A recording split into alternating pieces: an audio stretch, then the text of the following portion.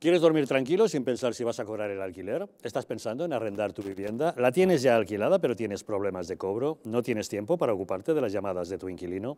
Estas son algunas de las preguntas que se han hecho los propietarios de viviendas y a las que el equipo de profesionales de Arrenda, con más de 12 años de experiencia, ha sabido dar respuesta.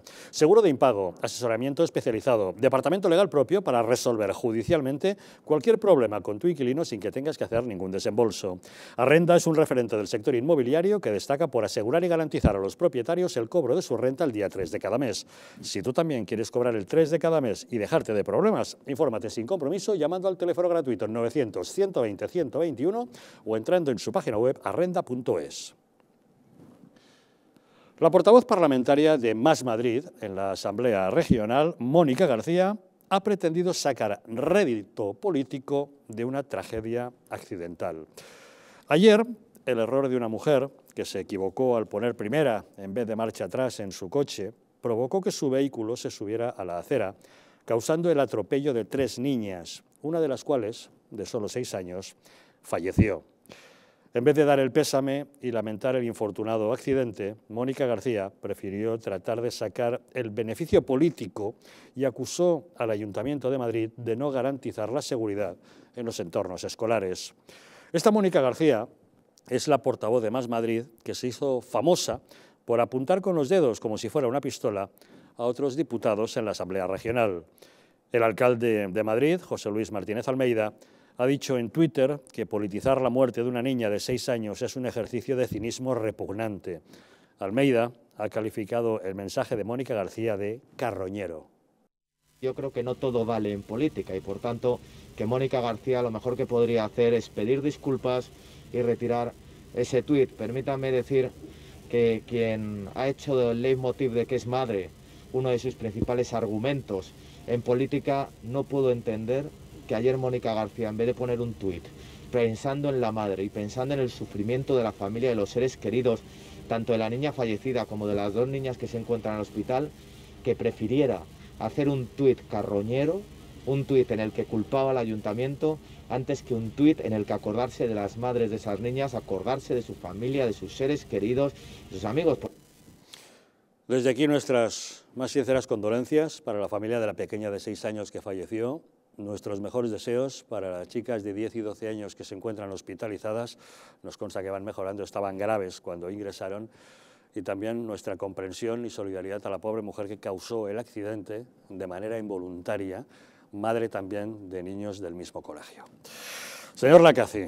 Bueno, eh, a ver, aquí me, tengo que poner eh, casi respirando profundamente para, bueno, no perder los nervios en las formas de lo que siento y me produce el rechazo tan absoluto de lo que es la expresión de, de la tal Mónica no sé qué. García. García. Eh, bueno, primero, por supuesto, me uno a las condolencias para la, familia de, la niña eh, muerta, pobrecita, la, niña, pobrecillos los familiares, y mi máximo respeto también por, todos ellos y que pronto se puedan recuperar las otras dos niñas.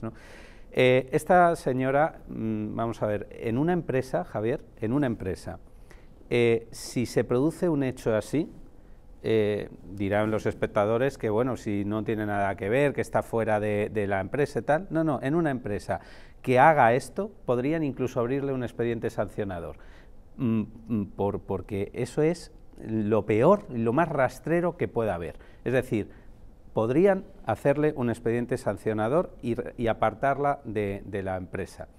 Por criminalizar a alguien. Porque criminalizar a de un accidente. Es, mm, vamos, del todo. Eh, eh, no tiene un pase, no tiene un pase. O sea, es, una cosa que, bueno, que, es mm, totalmente fuera de, lo, de, lo, que se puede mm, aguantar y respetar. Que lo haga en política, eh, bueno, los que la voten sabrán a quién votan. Eso, el voto es libre y ellos sabrán. Desde luego, yo como madrileño, y esto ha sucedido en Madrid, tener una representante política en mi ciudad, en Madrid, de donde yo soy, aunque no sea, por supuesto, a la que he votado ni votaré jamás, pero me produce asco directamente. No es de recibo, Javier, que ante un hecho tan grave como el que ha sucedido, tan triste, una desgracia como esta, esta señora quiera aprovechar por unos cuantos votos, no se sabe además mm, el qué, porque si alguien es capaz de votar a esta señora por sacar partido a, lo que ha dicho, ese alguien es tan cómplice como la señora desde mi punto de vista, aunque el voto es libre. Así que asco absoluto y, bueno, desear a la familia su pronta recuperación anímica y demás. Yo igualmente, vamos, evidentemente con esta, pobre familia, yo tengo una niña de siete años, yo os, he dicho que voy a, recogerla muchos días y a dejarla muchos días y es muy complicado, y a esta individual la diría eso. La diría eso, pero cuando pasen unos días, es decir, en caliente no puedes preocuparte de eso, pero cuando ya, hemos visto que ha sido una pobre mujer que se ha equivocado, ha sido un, incidente voluntario eh, y, por desgracia, con el fallecimiento de una niña de seis años y heridas ya están mucho más, están mucho menos mucho más leves mucho menos grave las otras dos, pero evidentemente casi un accidente involuntario del todo. Es una pena, por supuestísimo, y evidentemente los que tenemos hijos sabríamos lo que, suponía, lo que supondría eso. Pero sacar, querer sacar punta política, yo creo que en política, ya lo hemos dicho aquí muchas veces, no todo vale, o no todo debería valer. Sin embargo, vemos cómo, según quien lo diga, queda impune. Es decir, según quien diga lo que diga, no pasa nada no se criminaliza, no se la condena, no tiene responsabilidades, no tiene, eh, eh, eh, no tiene nada. O sea, es decir, eh, yo tengo muy claro que si hubiese dicho alguien del PP o de Vox, madre mía, sale hasta, hasta, hasta... Pero como lo ha dicho esta mujer que es de extrema izquierda, no hay ningún problema. Pero es lo que yo digo, es, para preguntarla, muy bien señora, a la pistolera. Eh, bueno, por decir el demonio me pusieron 80 días, a ver si ahora por decir la, pistolera me ponen también algo, no ya cualquier cosa, digo un expediente. Pero si, si eh, en lugar de decir eso, decirla, dígame usted, ya que presume usted de ser madre, presumido de ser madre, ¿Cómo solucionaría la entrada, y, salida a los colegios? Es, muy simple. ¿Cómo solucionaría la entrada y salida de los colegios de Madrid o de España en general? Vamos a decir Madrid porque es donde, ha pasado. Y que nos ponga una solución. A ver cómo hacemos. A ver cómo hacemos todos los padres y niños, porque a Dios gracias, solamente ha, habido tres niñas. A Dios gracias, digo con, el resultado fatal de la muerte de la niña de seis años. Pero es que eh, le pasa en el colegio de mi hija y si pasa esto, nos lleva por delante a, 30 padres y a 40 niños. Porque estamos en la salida y entrada, nos mezclamos todos en la puerta para dejar a los niños en la puerta del colegio. Es decir, que es muy complicado buscar una alternativa. Y, estando la pobre niña en caliente, eh, recién fallecida, con los nervios que supone para la madre, para el resto de niños, para el resto de padres que lo vieron, para, para los padres de la niña, eh, ya quiere sacar rito político, ¿eso es, ¿eso es política? como dices tú, no sería un expediente, sería para poner un lacito y mandarla fuera de España. Totalmente. Bueno, yo creo que a mí me da la sensación de que la portavoz de Más Madrid se habrá arrepentido profundamente de este innecesario tuit. Eh, que no ha borrado, eh, Luis, disculpa. No ha eh, borrado. No ha borrado, ahí sigue el tuit.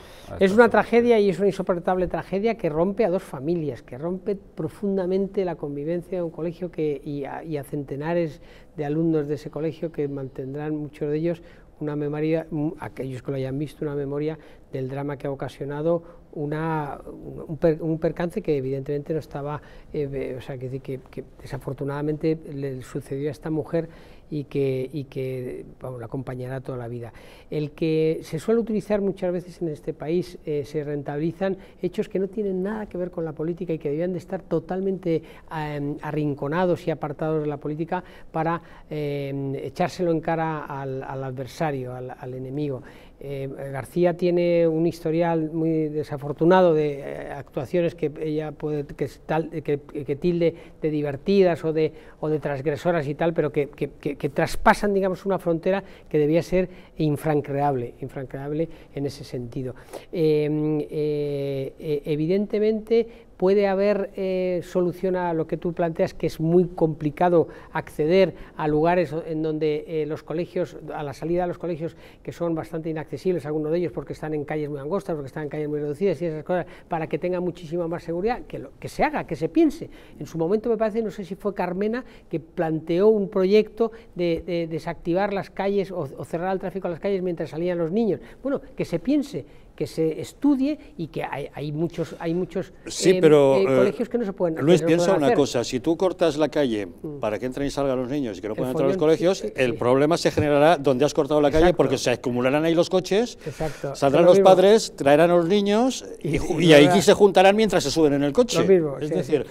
Sí, que trasladarás el, el problema, problema 30, pero- 30 metros claro, más pero allá. yo pero que yo yo- entiendo que sí que se reflexiona. como, no cortes la calle y dejes pasar los coches uno a uno, familiares de fulanita, salga, claro, te tiras tres horas para evacuar o nutrir a los colegios. Pero, ¿no? pero mire, lo que ha apu- apuntado Luis va en la medida constructiva, obviamente. Luis es un hombre cabal y, educado y, con mucho sentido común. Y aquí lo ha traído sin corresponderle porque él no es el político que le toca eh, realizar estas cuestiones, pero efectivamente es que el político si quiere ayudar y debe de ayudar, que para eso le pagamos con dinero público, pues efectivamente en el pleno del ayuntamiento lleve las propuestas de movilidad, eh, eh, de, facilitar el acceso a los colegios, de facilitar esos atascos, perfecto, eh, mm, debátanlo, es que ahí es el foro, pero pero, ¿qué no eche- propuestas tiene esta Claro, diputada es de que Vox, Yo madre lo de que recuerdo Madrid? de esta señora Sí. cuando iba eh, a los hospitales, yo no, no sé si iba mucho a, a intervenir eh, como profesional dentro del hospital, pero sí la vimos mucho fuera interviniendo con pancartas. Pues mire, a lo mejor lo que puede hacer es ella ponerse en el colegio, eh, en vez de con una pancarta, a movilizar ¿eh? y, a, y a- y hacer que fluya el tráfico y que no haya esos embudos. Por ejemplo, como servidora pública que es, ahí tiene eh, un montón de colegios para poder ayudar. El final del tuit, eh, si hubiera sido inteligente, yo lo hubiera planteado de otra manera. El final del tuit dice el ayuntamiento, que es cuando acusa al, me- al ayuntamiento, Almeida, vamos, en definitiva, el ayuntamiento tiene que hacer algo ya, no, tendría que haber dicho.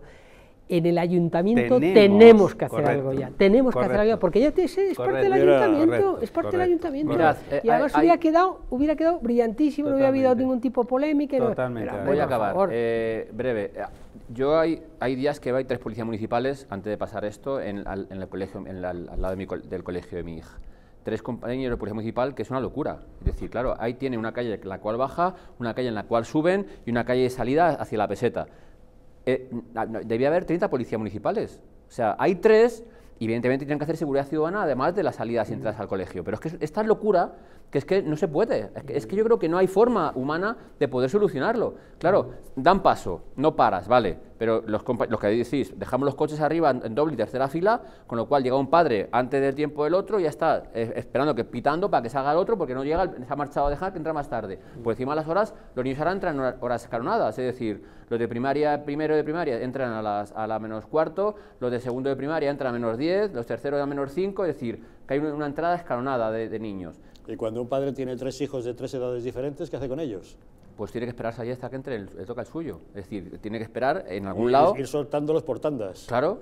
Eh, pero- y pero- permanecer ahí mientras tanto. Con el tema COVID está estipulado así para que sean burbujas del niño y evidentemente tenga que estar. Claro, tú ves a muchos padres que los cuales, bueno, pueden ir andando y le ves en la esquina, pues con un niño, con dos niñas, porque ha entrado el primero, ha entrado el mediano y el pequeño tienen que entrar después. Es decir, es una locura. Pero lo que voy, que con tres compañeros de Policía Municipal que había ya puestos por este ayuntamiento, Policía Municipal de Madrid, en, en- eh, todos los Y días. no han podido- Y no pueden. no pueden, Carlos, es que no, no pueden, pueden. no Si es que sí- es que es imposible. pueden, Yo hablo unos días con ellos, porque Sí, digo, sí. porque bueno, que llevas con más tiempo y tal, le hablas con ellos y es una locura. Por eso digo que, como habéis dicho, evidentemente es desafortunado, es vergonzoso y estas cosas deberían tener responsabilidades sí o sí. No sé si penales, civiles o o- o- o Administrativas, políticas. al menos, y O administrativas, políticas, pero desde claro. Sobre todo lo que deberían de haber hecho es respetar el dolor con el silencio. claro, el dolor muchas claro. veces se respeta con el silencio. Es decir, haber dicho, Correcto. sentimos profundamente la, la- Y muerte de esta niña y el dolor que le va a producir a la señora que ha ocasionado este fallecimiento, desgraciadísimo.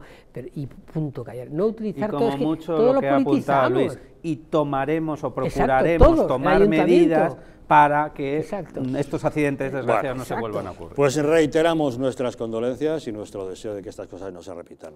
Vamos a hacer una pequeña pausa y volvemos de inmediato para contarles algo histórico. Por primera vez en la historia, una delegación de miembros del Parlamento Europeo ha viajado a Taiwán.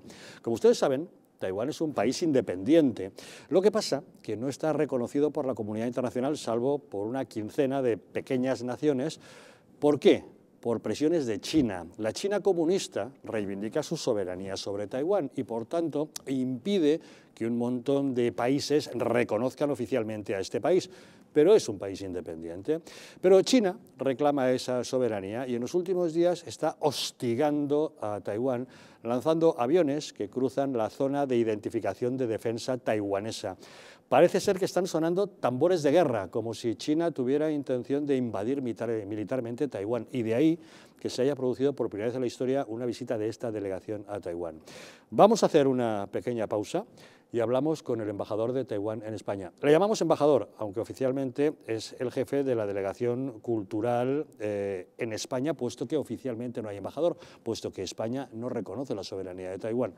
Pero nosotros le vamos a llamar embajador y en unos minutos hablamos con él.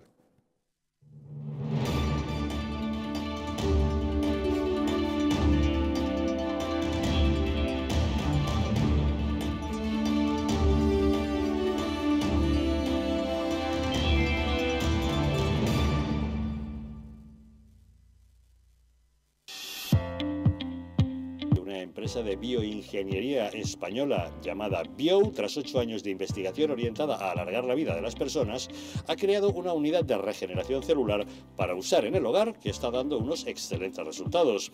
Ya se ha demostrado científicamente que mejora la síntesis de proteínas, aumenta la energía en las mitocondrias y facilita la regeneración de tejidos. Eso puede cambiar la vida a miles de personas, pero en especial a aquellas con problemas de ronquidos, respiratorios o preocupadas por retrasar el envejecimiento y lo más importante, sin efectos secundarios, ya que es física y no química. Si llama usted al 900-730-122, puede consultar su caso y le explicarán cómo la unidad de regeneración celular Bio le puede ayudar. Se sorprenderá. La presencia del colágeno en la composición de huesos, piel, ligamentos, cartílagos y tendones es imprescindible para frenar su deterioro. Sin embargo, a medida que envejecemos, su producción se reduce. Colacel Antiox de Mundo Natural combina en una misma toma colágeno hidrolizado puro, antioxidantes, ácido hialurónico y vitamina C que contribuye a la formación normal de colágeno. Haz del tiempo tu gran aliado. Colacel Antiox.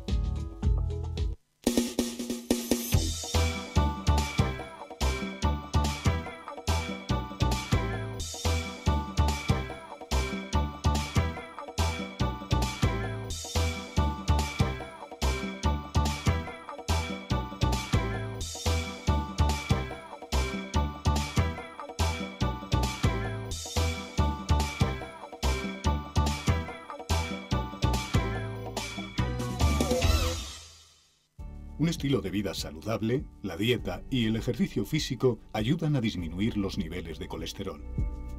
Divecol Forte de Mundo Natural contiene cardo mariano, coenzima Q10 y levadura de arroz rojo que aporta 10 miligramos de monacolina K que contribuye a mantener niveles normales de colesterol sanguíneo.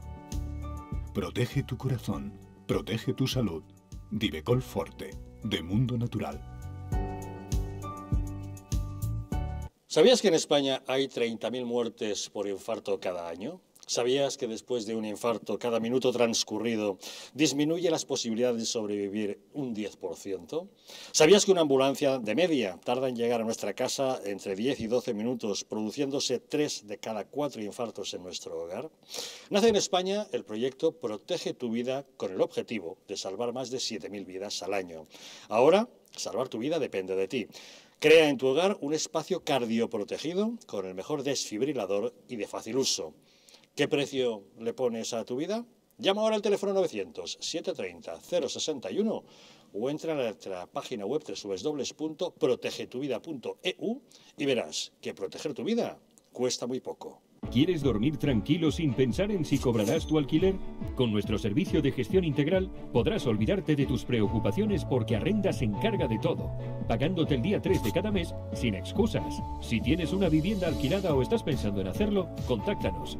Arrenda, el alquiler seguro y garantizado. ¿Estamos en un auténtico Estado democrático o estamos en una patritocracia? Porque este programa se hace para ustedes. La ciudadanía está quedando atónita a lo que estamos viendo. Vamos a ver cosas que nunca se imaginarían. Lo que ha pasado en España demuestra que Falconetti no es tonto. Que la democracia, ¿qué es lo que es, amigos? El imperio de la ley. Esta izquierda rancia lo que quieren es exterminar todo aquello que no piensan exactamente igual. El castigo va a ser terrible para todos los partidos. Recuerden que no les engañen, porque la verdadera libertad consiste en estar bien informados.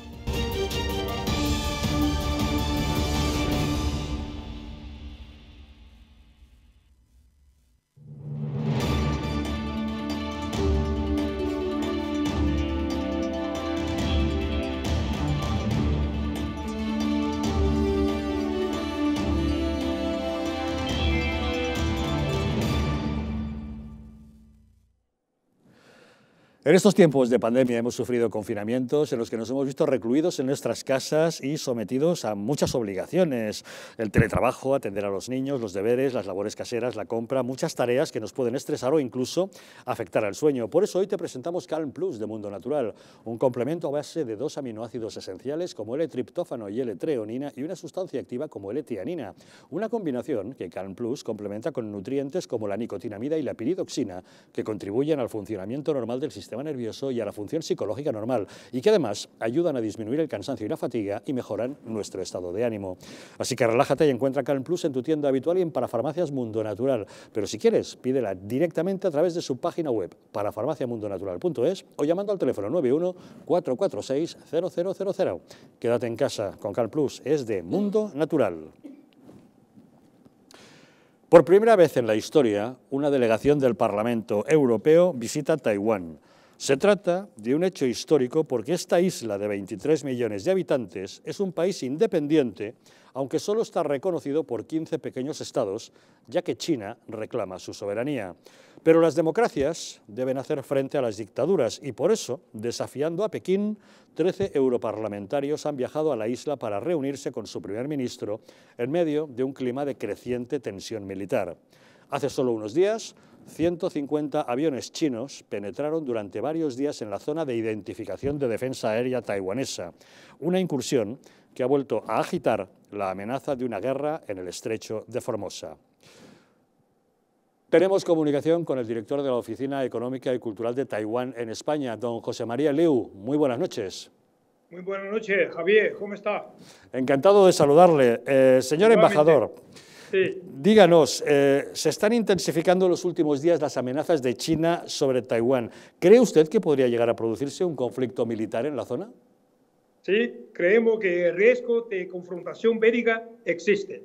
En Taiwán nos preparamos para afrontarlo modernizando nuestras capacidades de combate defensivo y mejorando las capacidades de combate asimétricas para responder a las provocaciones militares de China. No buscamos una confrontación militar, pero haremos lo necesario para defender la libertad y la democracia. Como acaba de mencionar usted, eh, durante los primeros cinco días de octubre, ya 150 aviones militares, eh, digamos, ¿no? o sea, eh, enviaron China a nuestra zona de identificación de defensa aérea. Solo el día 4, 56 incursiones, el mayor número en un solo día. Por eso podemos decir que este tipo de amenazas e intimidaciones que ya se han convertido en habituales. Señor Liu, dada la importancia de su país, de Taiwán, como potencia económica, ¿cómo podría afectar un conflicto bélico al resto del mundo? Nuestra presidenta Tsai Ing-wen ha dicho, si Taiwán cayera, las consecuencias serían catastróficas para la paz regional y el sistema de alianzas democráticas. Perturbarían el comercio internacional y desestabilizarían todo el Pacífico Occidental. No defender a Taiwán sería catastrófico para los taiwaneses y acabarían con la arquitectura de seguridad que ha permitido la paz y el extraordinario desarrollo económico en la región durante siete décadas. Por eso podemos decir que el comportamiento irresponsable de China demuestra sus intenciones de expansión hegemónica. Vamos a continuar trabajando con aliados y países de ideas afines para defender el orden internacional y promover la paz y estabilidad en la región Indo-Pacífico. Señor Liu, ¿cómo valora usted la respuesta recibida por los países de la Unión Europea ante esta actitud beligerante de China? Eh, damos especial relevancia al apoyo que la Unión Europea brinda siempre a Taiwán.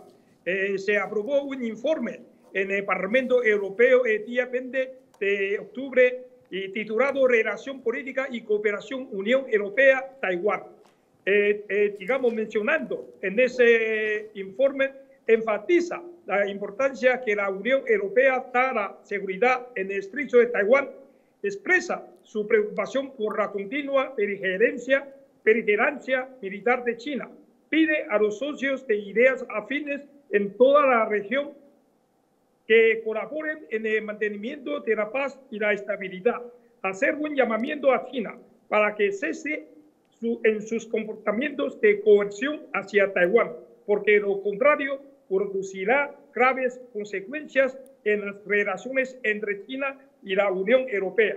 Es la primera vez en la historia que el Parlamento Europeo aprueba un informe referido íntegramente a las relaciones entre la Unión Europea y Taiwán, aprobado por una muy significativa mayoría, en total 580 votos a favor, 26 en contra. Describe a Taiwán como un socio clave de la Unión Europea y un aliado democrático en el Indo-Pacífico, con quien intensificar las relaciones políticas y buscar una asociación amplia y mejorada destaca la necesidad de iniciar los procedimientos para alcanzar un acuerdo bilateral de inversiones entre la Unión Europea y Taiwán. Además, durante este año el Parlamento Europeo ha aprobado otras 11 resoluciones en las que muestra su decidido apoyo a Taiwán.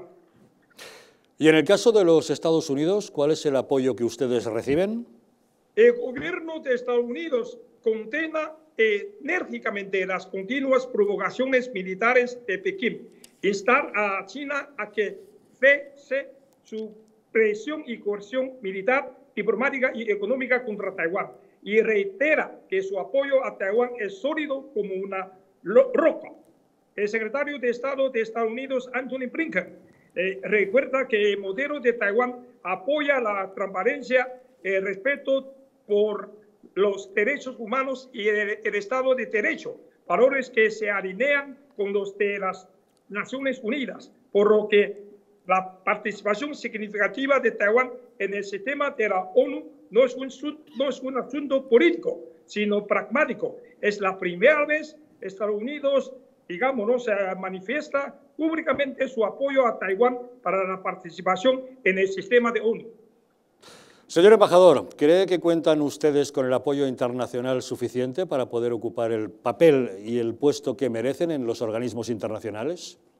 Como acabo, de mencionar, ese informe del Parlamento referido a Taiwán, eh, Parlamento Europeo referido a Taiwán, reafirma el apoyo de la Unión Europea para nuestra participación significativa y en calidad de observador en organizaciones internacionales como la OMS, Organización, Organización Mundial de la Salud y la Convención Marco de Naciones Unidas para el Cambio Climático, Organización de Aviación Civil Internacional y la Interpol.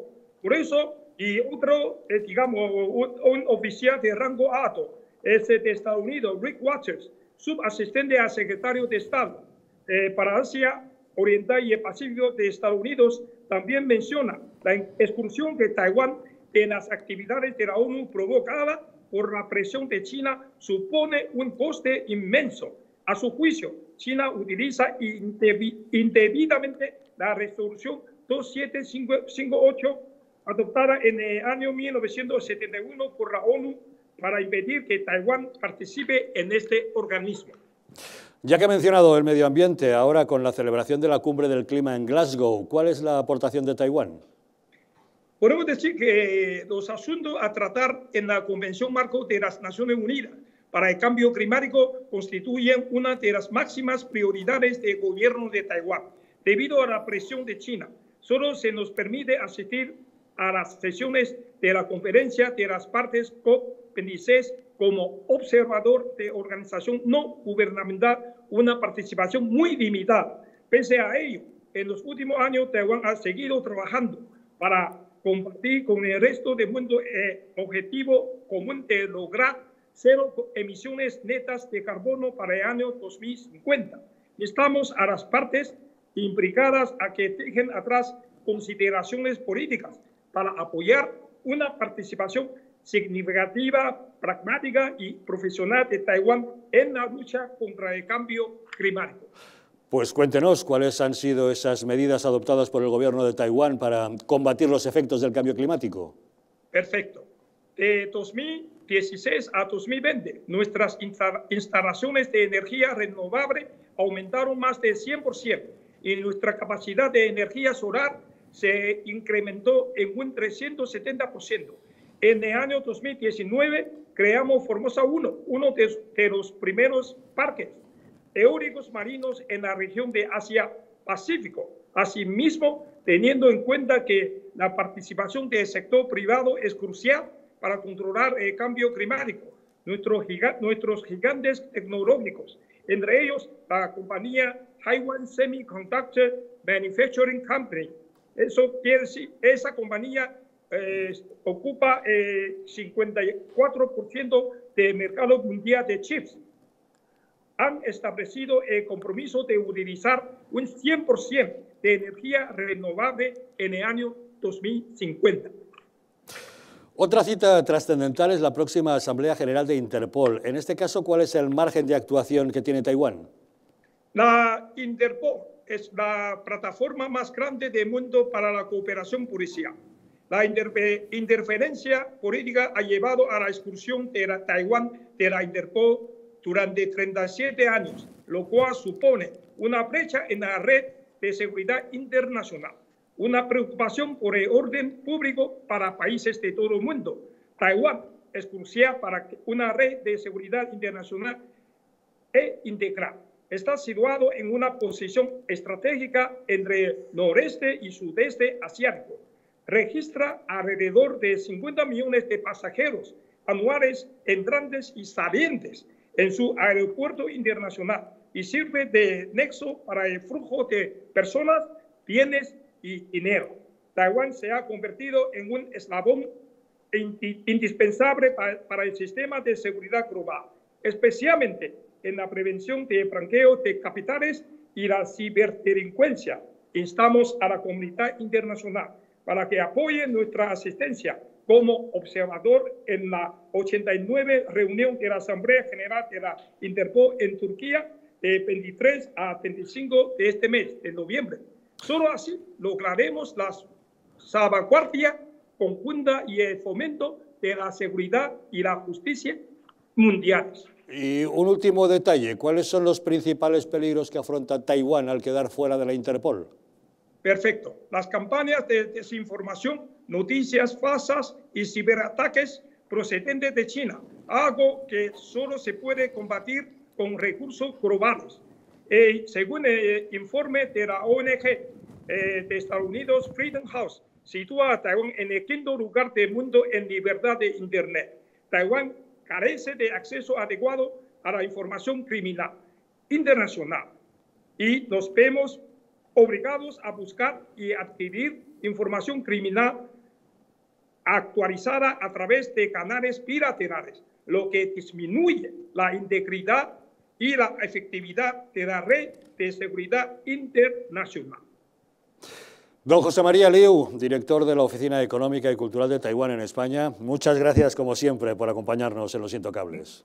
Muchas gracias a usted, Javier, como siempre. Gracias a usted. Gracias, un saludo.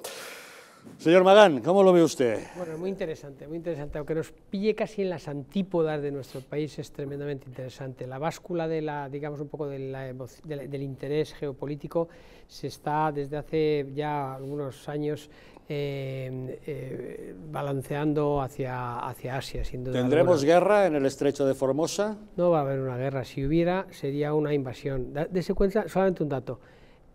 Taiwán tiene 23 millones de habitantes y China en el año 2020 tenía 1.402 millones, de, 1.402 exactamente millones de habitantes. no, no, no, es inexistente la posibilidad de que, hubiera, de que haya una guerra, sino una China invasión. está hostigando, lanzando sus aviones dentro de la zona justamente de reconocimiento de defensa taiwanesa, lo que ha puesto en alerta a las medidas de seguridad de Taiwán. Sin duda, y no solamente eso, sino el, apoyo, eh, el apoyo evidente y, pues, bastante fuerte de, tanto de Australia como de Japón. Pero tenemos un problema, tenemos varios pero problemas. Pero cuenta con el apoyo de Estados Unidos y espero que de la Unión Europea. Ojalá, ojalá sea así, pero tenemos un... O sea, yo creo que el salto, en el año 79 me parece que firman el acuerdo entre China y Estados Unidos para el reconocimiento de la China, la China comunista, y de, Deng Xiaoping, que en aquel momento era el, secretario general del Partido Comunista, dice un país, dos sistemas. ¿Se acuerdan aquella frase de un país y dos sistemas? Ahora Xi Jinping, Xi Jinping yo creo que quiere hacer solamente un país y un sistema que es el país comunista y punto. Ya sabes, gato blanco, gato negro, lo importante es que hace ratones. y más, en estos momentos las balanzas geopolíticas se ven mucho por las actuaciones de los propios presidentes o dirigentes de los partidos, y perdón, de los, de los países. Y en estos momentos eh, China ha recibido una noticia, que la hemos recibido todos con desolación en el mundo, que es eh, la, la, marcha de los Estados Unidos de Afganistán, que el, eso de retraerse los Estados Unidos a sus propias fronteras da mucho pie a que los chinos puedan tener una, em, eh, puedan llevar adelante una determinación de, volver a lo que ellos llaman, a recuperar lo que ellos llaman la provincia rebelde, Taiwán. Y no olvidemos que son 23 millones de personas que viven en libertad, afortunadamente, que, que producen, que son tremendamente, como todos los chinos, trabajadores, pero son tremendamente inteligentes y tienen en gran medida muchas industrias que son eh, muy, eh, objetivamente, muy estratégicas para, para, para Occidente. Bueno, Hong Kong ha desaparecido. Hong Kong ha desaparecido. Quiere decir que de pronto estaban toda la gente en las calles manifestándose la recuperación de las democracias y tal, y eh, China calladamente ha, hecho desaparecer de los medios de comunicación, de las primeras planas, y probablemente de ese movimiento tan eh, eh, que, con tanto optimismo y con tanta simpatía veíamos en Occidente, yo no lo veo desde hace, bueno, desde, antes de la pandemia. Bueno, como dice Luis, en este juego de poder, ¿no? de poder global y de equilibrios geoestratégicos, eh, la región, todo lo que ocurra en, el, en, esta región de Asia, en concreto en China, eh, la verdad es que nos tiene que ocupar y preocupar. Lo que ocurre es que como nos pilla tan a desmano, ¿eh? pues efectivamente parece que allí los problemas pues, pues no los se tienen en cuenta, ¿no? o, o las posibles soluciones. Y yo Taiwán eh, y todo lo que ocurre eh, con esta problemática, tal y como nos ha comentado el embajador al que has entrevistado, eh, creo que es una oportunidad. Es decir, que en un territorio como es China, tan normalmente poco transparente y oscuro hacia sus propios intereses y tan cerrado, eh, hacia, hacia, el mundo occidental ¿no? y hacia lo que son las democracias eh, y, bueno, pues, eh, occidentales en definitiva y mercados como pueda ser el europeo, pues yo creo que tener ahí, aunque sean 23 millones frente a 1.400 que tiene la China comunista, un pulmón de oxígeno por las libertades que se respiran allí y de además de una, de una región muy puntera, como bien ha apuntado Luis, eh, en cuanto a industrias y empresas, ¿eh? pues creo que es buena noticia saber que hay allí una región que se abre hacia Occidente o que por lo menos es más transparente. Claro, el problema es que China tiene mucho peso en el mundo y particularmente en lo que es la propia región eh, donde, donde, se sitúa este pretendido Estado de Taiwán, que todavía no está reconocido por muchos de los países en el mundo y la Unión Europea, como bien ha dicho Javier, veremos a ver qué, cómo se posiciona. Pero de momento que haya mandado una delegación es importante, por primera vez en la historia, pero no estaría mal iniciar un proceso de reconocimiento, y que los países de la Unión Europea reconocieran a Taiwán como Estado soberano. Creo que es Pasa que, claro, parece que hay un miedo terrible a disgustar a China. De momento, en China, todos estos, incluido el señor embajador que aquí ha hablado, está proscrito, claro, o sea, tiene totalmente prohibida la entrada allí a, la región, ¿no? a China. Entonces, bueno, allí efectivamente hay una falta de transparencia brutal, lo hemos visto con la pandemia, no se sabe si empezó o no empezó realmente allí, pero lo que no se sabe ni se sabrá nunca es qué experimentos, qué, eh, cuántas, eh, mm, qué, investigaciones se hacen, qué no se hacen. Que empezó ahí sí se sabe. Se sabe, aunque lo quieren también ocultar, porque acuérdese que decían que es que esto venía de un contenedor de Estados Unidos y al final, o sea, querían hacerlo al revés, ¿no? Pero por eso digo que en, un país que es tan oscuro a nivel eh, de información y de libertad de prensa y de información en definitiva, que haya una bandera allí de libertad como pueda ser Taiwán, yo encantado. Pero es muy elegante, Carlos. Eh, claro, es que hablar de China, de un país muy, muy, bueno, muy poco transparente. Es comunista. Es un, claro, es, comunista. Es, un régimen totalitario, de partido único y que sigue asesinando. Totalmente. Perdona, la pena de muerto, que sigue asesinando a, sus, a, a, personajes que van en contra de, su propio régimen eh, y que tiene controlado a 1.400 millones, de personas, de, una, de, una, de una humanidad que somos 7.500 millones de personas. Y que pretende seguir dominando no solo ya en China, sino en otros países periféricos, como bien has dicho, que pueda ser Afganistán o cualquier otro de... Después de la pandemia parece que va consiguiendo en según qué lugares. Yo creo que la mejor, el mejor respaldo sería un reconocimiento por parte de Europa, de la Unión Europea. Yo creo que sería el mejor y el más grande reconocimiento. Pero como estáis diciendo igualmente, China tiene mucho poder y yo creo que desde la pandemia tiene mucho más poder todavía. Poder económico, estamos viendo ahora mismo cómo, bueno, pues eh, en China están advirtiendo ya o están cerrando ciudades de 4 millones de habitantes porque dicen que hay dos positivos o tres positivos. No es cualquier cosa, ¿eh? O sea, que es que no es... Por eso digo que nos enteraremos de lo que hay, de la mitad o de lo que no haya. Y habéis dicho, visteis que Trump dijo que había venido el laboratorio aquel de Wuhan, en el cual tal, todo el mundo le puso de farcista, de tal, de no sé cuánto. Lo ha dicho Biden ahora, sí que se montó un poquito de ruido, pero otra vez se ha vuelto a tapar. Y, y si no mal no recuerdo, dio un plazo, un tiempo 90 para... Días. 90 ¿Cuánto? 90. días y no le respondieron. Sí. Por eso digo que ya... Servicios secretos americanos. para que veáis, por eso digo para que veamos lo que, lo que hay. Pero yo, bueno, yo creo que lo que estáis diciendo no hay nada que añadir. Eh, ojalá se le reconozca por parte de la Unión Europea. Yo creo que será el mejor respaldo para que esta gente, evidentemente, como bandera de libertad allí pequeñito, eh, podamos todos seguir... Un gran país, Taiwán, con innovaciones tecnológicas, punteros en cantidad de cosas. Es impresionante, una pequeña isla que está Claro, pero Javier, tú miras la mitad de las etiquetas son made in Taiwán. Sí, sí, mm. tiene una capacidad productiva enorme y de inventiva eh, tremenda. ¿eh? Por eso digo, y, encima que les quieran tapar, no sé si por, por, por, por acaparar o por lo que sea. La censura, no tienen sitio en los organismos internacionales, porque claro, al no tener reconocimiento internacional, no están en la ONU, en la Interpol, en una serie de organizaciones, en fin, tremendo. Y con el veto de China, pues Y en paralelo a esta situación, tenemos noticias alarmantes en las últimas semanas, por los últimos, no, sí, las últimas semanas, por ejemplo, eh, la prueba de un misil supersónico, ¿no? No han dicho, no, hipersónico, no. hipersónico. hipersónico. por parte de China y ahora recientemente, yo he leído esta mañana, me parece que en el Confidencial, el, el, ordenador cuántico que está detrás de él, eh, los chinos, que será el salto ya definitivo. Bueno, tendremos ocasión de comentarlo. Don Luis Magán, muchas gracias por habernos acompañado. gracias, Carlos Lacazi. Muchísimas gracias, Javier y compañeros de mesa. Gracias, Alfredo Perdiero, por acompañarnos. A ti, como siempre, muchas gracias. Nos vamos, pero ustedes no se vayan lejos, que ahora les traigo la película. Esta noche, Un beso antes de morir.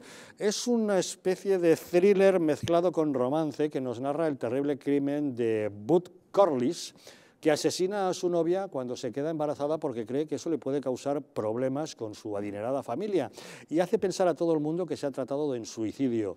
Pero la hermana de la fallecida no se cree la historia e investigará por su cuenta. Disfruten ustedes de la película, pasen un muy buen fin de semana y nosotros les esperamos el lunes aquí, en Los Intocables.